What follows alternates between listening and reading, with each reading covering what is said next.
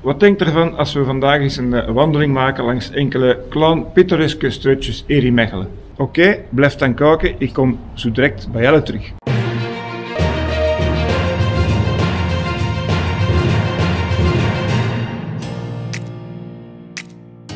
Als het voor vandaag de eerste keer is dat je me nooit wil, dan heet ik je van harte welkom op mijn kanaal Mechelen op zijn best.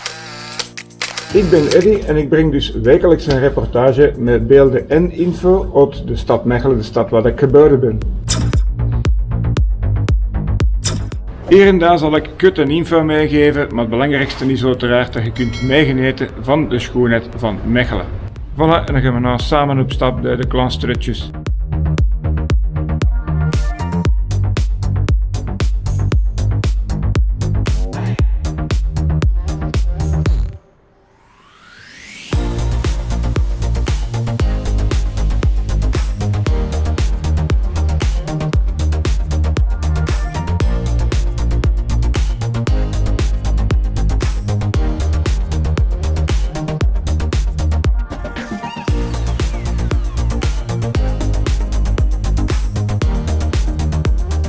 Dan kan dat gebeuren natuurlijk dat je straks na de video nog vragen hebt of opmerkingen hebt of suggesties hebt. Wel, die kun je ook onderaan neerpinnen bij de reacties. Dat is altijd welkom en ik zal er binnen de 24 uur sowieso op antwoorden.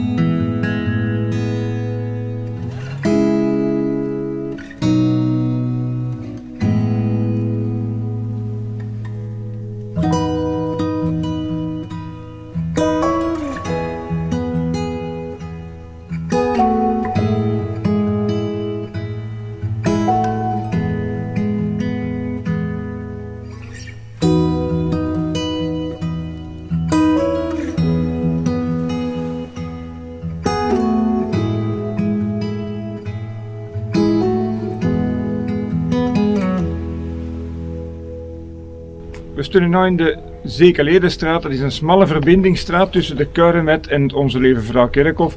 En daar is ook nog eens langs deze kant waar we naast een uitzicht op de westertuinen van de gelijknamige Onze Lieve Vrouw Kerk.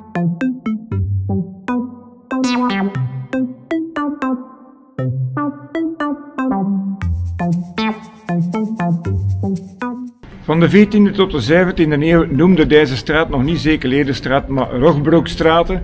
Later werd het dan Zekeledenstraat, omdat hier waar de naast een hospitaal geweest is.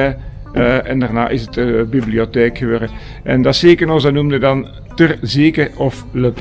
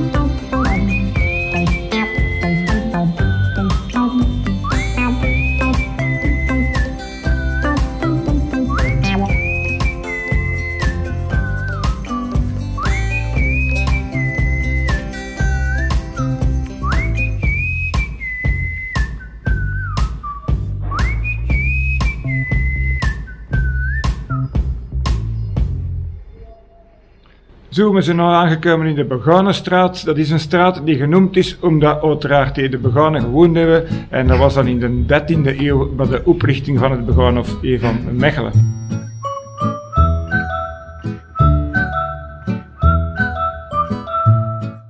Wat kunnen we dan nog vertellen over deze Beganenstraat? Wel in de 16e, 17e en 18e eeuw woonden hier leden van de Grote Raad van Mechelen en uiteraard ook hoge ambtenaren.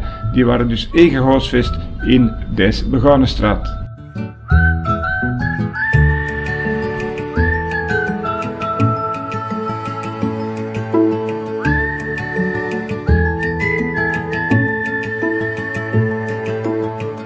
Hier achter dan nog het voormalige klooster van de zusters van Onze Lieve Vrouw van Barmhartiget. Ontstaan in 1854 toen deze congregatie door kanuniek Scheppers werd gesticht. De congregatie die groeide dan later uit tot een vereniging van godvruchtige dames, die zich sinds 1819 beziggeven met het eh, verzorgen van aanvrouwen en het onderwijs van arme kinderen.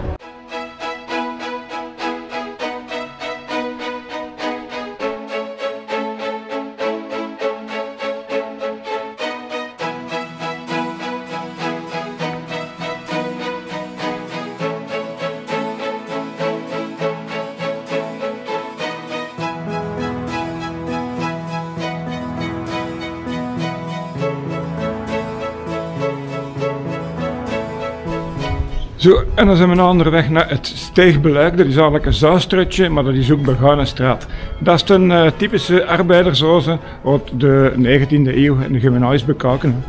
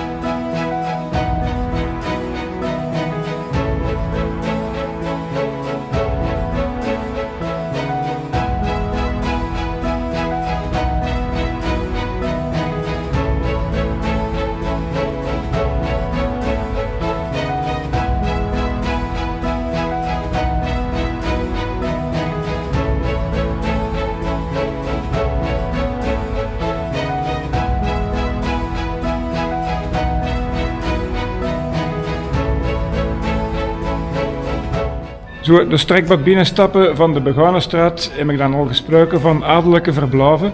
Wel eerst rond zo eentje en dat is Hotel Wapenaard. De, de gevel kun er nog van zien, binnen is het natuurlijk helemaal anders momenteel. Uh, maar oké, toch een goed stukje hier in deze Mechelse straat.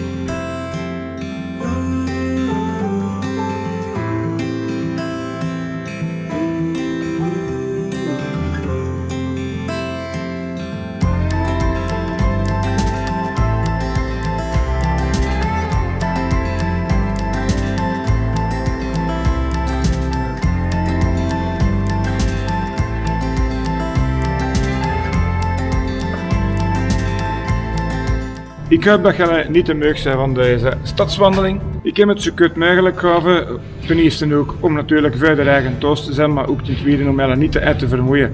Ik zou zeggen, we gaan afspreken in de volgende video. En dan gaan we samen nog eens aan Turken doen in het stadscentrum en gewoon dingen ontdekken. We willen toch appreciatie tonen, en willen zou ik zeggen. Een dummeke is uiteraard van harte welkom.